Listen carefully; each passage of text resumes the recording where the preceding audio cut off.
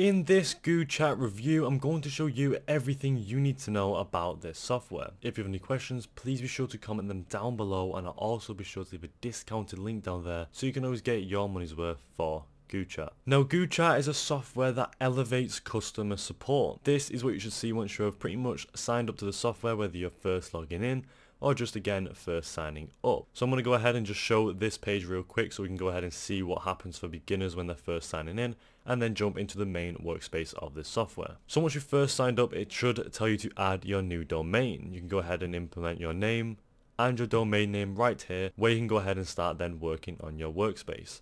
So for this, I'm going to go ahead and just name this review for the sake of this review. And then for the domain name, I'm going to go ahead and put in a domain name that I can use. So once you've implemented your name and then your domain name, it should then click submit and then take you to this page where you have one, two, three, four, five, six, seven step process.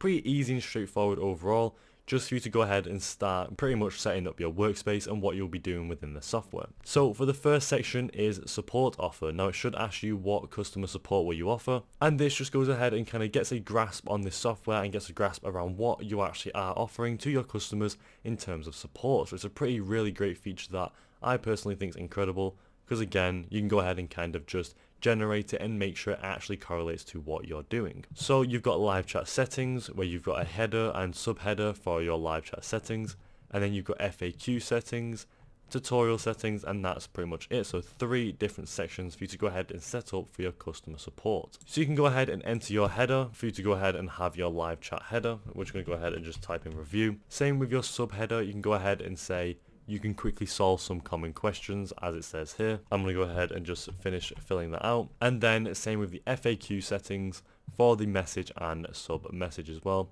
And you can also implement your categories if you want to go ahead and have FAQ categories. And then finally, you've got your tutorial settings where you can go ahead and enable a search and categories for you to go ahead and also do the same thing. So it's a very simple process. There's not really too much you need to go ahead and do to go ahead and actually set this up but once you are happy with it you can go ahead and click next. Next it should then take you onto the design section. Now not a lot of softwares or not a lot of softwares that offer customer support settings offer this but it's really great and a huge really great feature where you can go ahead and actually design your widget for you to go ahead and actually offer your customer support. So you can go ahead and design the background color, default agents, chat position and the select icon. So let's say we're going to go ahead and actually create a customer support that has kind of like a chat base to it you might want to go ahead and select this kind of speech bubble icon, maybe even just a heart icon, etc. You can go ahead and select any icon that actually correlates to you. Same with your background color. So obviously everyone's different. Go ahead and select a color that you enjoy. Or if you don't enjoy any of these ones, you can go ahead and select this and pick your own color. Maybe you have a brand color that you want to go ahead and pick. Again, a pretty great feature that this includes for you to go ahead and just make it customizable to you. So I'm going to go ahead for a background color and I'm just going to go with this blue one because I think it's a pretty nice color. Then for the default agents, you can go ahead and just select your account that you've gone ahead and actually added to the software. And then your chat position, whether you want it in the bottom left corner, bottom right corner, we're going to go with the bottom left. And as you can see now in this bottom left corner, I have that chat icon with the background color. And finally, I can change the icon to that, to that, etc. Go ahead and select which one you prefer. I'm just going to go ahead and leave it with this because I think that icon that we've just created right there is actually a pretty good icon so far. So once you're happy with all of your settings for you to go ahead and customize your widget, you can click next. Next, moving on to the next step is the chat flow section. Now on the chat flow section, you can go ahead and actually just create pop-up messages or just messages that go ahead and keep the chat flowing pretty self-explanatory. There's not too much to go ahead and go through here. You can go ahead and type in your pop-up message and your user email message. So there's two different sections that you can go ahead and type out to any message you want. So I'm going to go ahead and just change this for the sake of it. I'm going to go ahead and put hi, welcome to this review. Pretty simple and pretty straightforward. So once you go ahead and select this, you can go ahead and see it comes up in the bottom left hand corner where it says do you have a question? I'm here to help you. Very good, very straightforward, and very easy to go ahead and set up, which is again a pretty huge feature I love about the software. I kind of just really love how softwares like this are very straightforward, easy to set up, very minimalistic, and it's good for beginners, professionals and everyone in between. Overall, I think it's great. So once you're happy with that, you can click next and next move on to the availability section. Now this is just a section where you can go ahead and change the availability that you have for your customer support hours or time frame. Now you can go ahead and select your time zone to obviously make sure that you know what times are what and then you can also change your working hours from days two different times in that day, then your availability behavior, and then that's pretty much it. So I'm going to go ahead and just leave the time zone the same because obviously that is the right time zone for me. And then you can also change your working hours. So let's go ahead and just change it to Tuesday and then say it's from 10 a.m. to leave it as 5 p.m.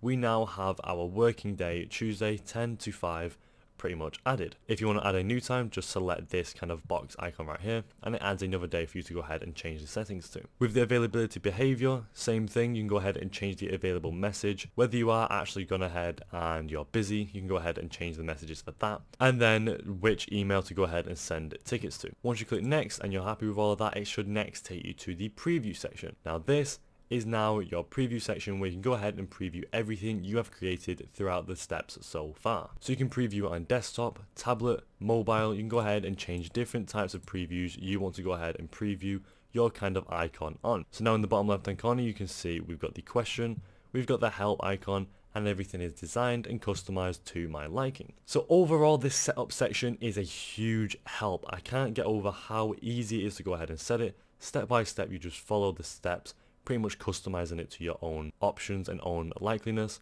and then overall you then end up with a great chat bot or a great chat section for you to go ahead and use for customer support. So overall again very straightforward and I personally really love this setup section. So once you're happy with the preview, personally I think it's pretty great, I don't really need to change anything.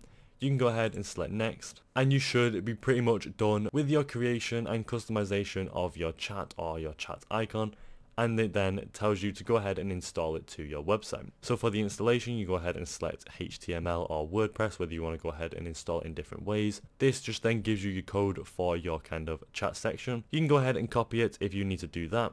Select which pages to include, and then once you're happy with it, click save. And there we go, it takes us to the main workspace section, or pretty much once you've gone ahead and set up your customer support chat icon, it takes you to this section where you can go ahead and see the different ones for different places. So the domain that I used is now here with that icon we just created. And if I click these three dots, I can edit it and delete it. And if I click view details, I can go ahead and see all the details that will be coming through this customer support icon. Like the chat right here, any people that go ahead and actually request customer support, you can actually manage it and see it all right here. You can see the chat, the automation if you want to go ahead and create automation templates, reports which is pretty much the analytics, and then finally your settings that we don't really need to go through because we went ahead and set it up already. So in the chat section is pretty self-explanatory, it's a customer support chat section. Again, anyone who goes ahead and actually messages your customer support chat section, you can reply to them here, solve their problems, go ahead and actually just get someone else to go ahead and actually solve the problems for you pretty much manage it all right here. Same with the automation section, you can go ahead and actually just select templates in case some questions that people are asking just can be automated and it's usually just an automated answer that kind of varies on a broad range. So to set up this template, I'm going to go through it really quickly you can just select create new template. Now you name your chatbot flow, which I'm going to go ahead and call it reviews. Click submit, and then we now have the templates that we can go ahead and use. So once you click manage, you can now manage your chatbot flow depending on what questions people ask. So you can go ahead and add different steps click message type and then you can add the content to your message depending on what people say. So if we click add content, we can add typing animations, text, image galleries, emojis, images, GIFs, videos and audio so a huge variety to choose from. We're going to go ahead and stick to typing animation since most people or most bots usually reply in typing. Once you click typing animation you can actually select your typing delay and then click save. You can then also add your next step and then pretty much just keep adding steps and actions for you to go ahead and actually start giving good customer support to your customers when they go ahead and actually chat with your chatbot. Once you choose an action, you get all these different types of blocks from button links to button steps to live chat, ask for email, end chat, etc. depending on what people go ahead and ask. So let's say someone asks for a problem and we want their email, you would click ask for user email as an action and then obviously type in a message that asks for that email. So I put in can I have your email and I click save and we now have our flow of our bot. So overall that's how straightforward this is.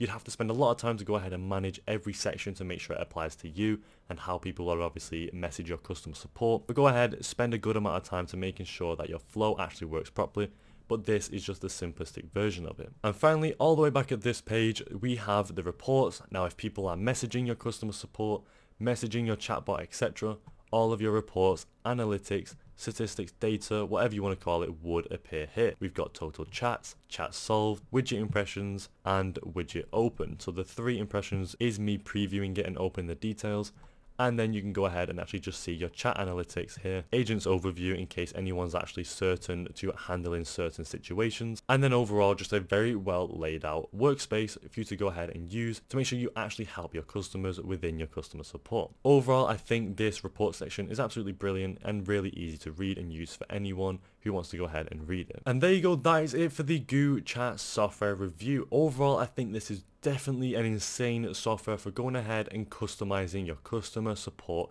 section. There's a couple of features that I personally really love and those features is how straightforward it is, how easy it is to use, and just how well this whole workspace and setup is laid out in general. I love how easy it was to set up, and I just love the whole type of this software and whole way it works overall. Would I recommend this to anyone? Yes, I absolutely would definitely one of the best softwares out there for customer support and I would definitely recommend this to anyone who needed a customer support workspace. And finally, would I use this myself? Absolutely use this myself if I ever needed to go ahead and create a customer support section. Overall, 10 out of 10 software and I would use it again. Thank you for watching and I'll see you in the next video.